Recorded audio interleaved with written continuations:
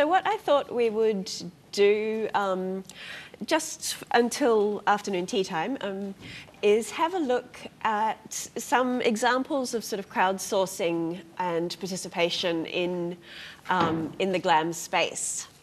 Uh, so I've got a few examples to, to work through and depending on what devices you've got with you and um, what you feel like doing, I'd encourage you to, to think about playing along. Um, Bonnie's already mentioned Trove today, and I think there's quite a lot of love for Trove in the room. Um, if you've never made a Trove edit, um, this could be the occasion on which you do this. So um, we're going to be hearing a little bit from later on from Donna about uh, digitization. Um, and one of the problems of digitizing um, archival collections is um, then get making that into something that is useful people in the open source and particularly open data space um, have a well-founded hatred of the PDF. A PDF of a table is not open data. Um, so we, but we need to be able to make that step from digitizing a hard copy document um, by scanning it into getting it into something which is useful. So um, one of the ways in which we do that is with OCR, um, but that has its own problems. And so a lot of GLAM institutions have turned to the power of the crowd to try and um, address this problem of um, the errors which are introduced uh, in the digitization process, um, creating something that is then uh, useful to the research community at the other end. So this um, is an example from the State Library of New South Wales where they've invited people to participate um, in transcribing materials from their oral history collection. You can listen to um, materials from the Sound Archive and uh, contribute uh, transcriptions, helping to, to make that material more accessible. Um, this is an example from the National Archives in the US. Um, yes, the government is currently shut down. Um, but what they have um, are what they call citizen archivist missions, which invite people to participate in um, activities like um, transcribing or labeling uh, collections, they um, will theme it around particular uh, activities or um, events in the calendar. So Martin Luther King Day, uh, which occurred recently in um, the National Archives, had a whole bunch of activities around uh, the civil rights movement in the US, which they were inviting people to, to go on a citizen archivist mission um, and contribute to. Um, so this one is um, called Distributed Proofreaders.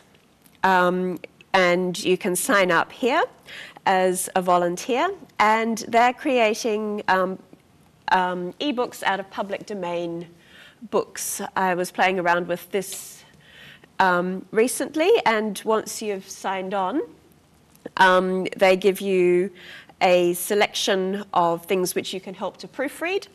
Um, my French and German are probably not up to me being able to usefully contribute proofreading to that.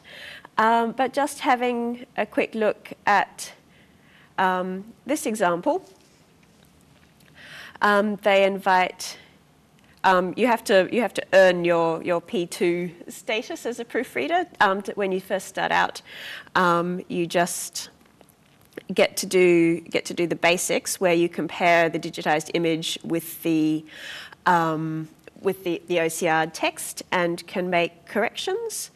And if I can find the link again, I will be able to show you what that looks like. Um,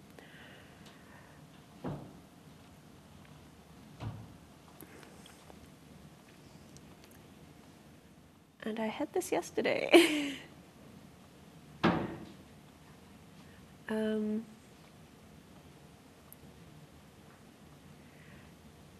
Yeah, so they have several levels of, of proofreading that go into um, their into this whole process, and they have a, a, word list as well that you're meant to to work to work with um, to make sure that you are actually introduce um, actually correcting text, not introducing whole new errors.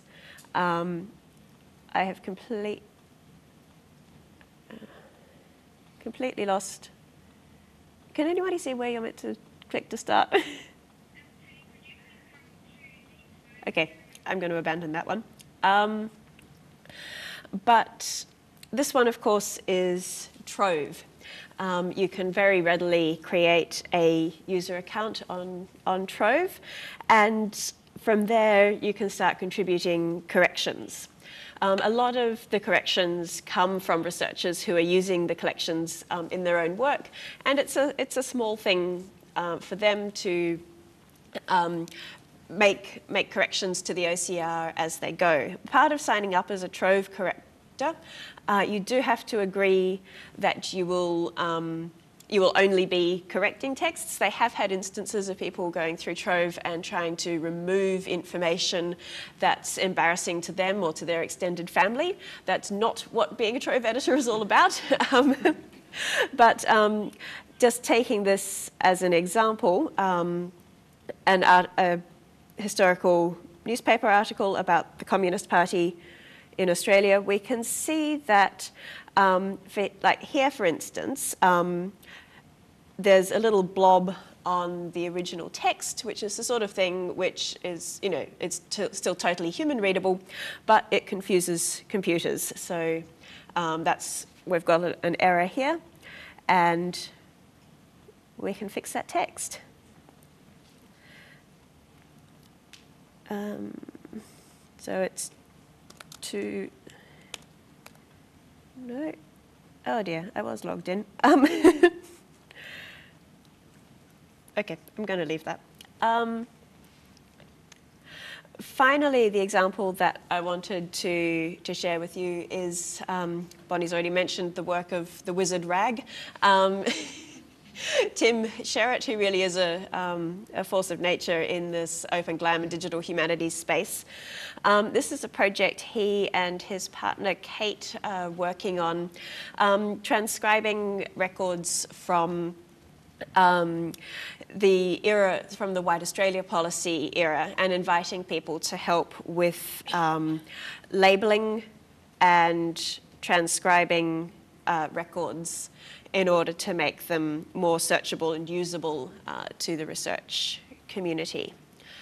Uh, yeah, so those are just some examples of the ways in which um, open, open source and uh, is transforming the way that GLAM institutions are able to do their work and engage with their user communities.